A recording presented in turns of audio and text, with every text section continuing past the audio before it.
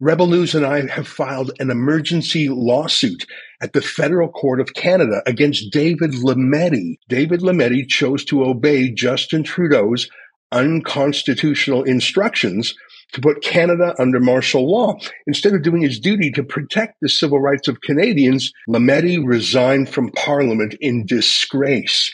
But as Lametti skulks out the door, he's deleted his account direct messages. And we know that Lametti made many atrocious comments in private, such as his suggestion to deploy military tanks against peaceful Canadian protesters. Lametti is destroying government property and covering his tracks. I really think we have to bring the justice minister to justice, the real kind of justice, not Trudeau's authoritarian justice where he just stomps his riot horses on you and seizes your bank accounts.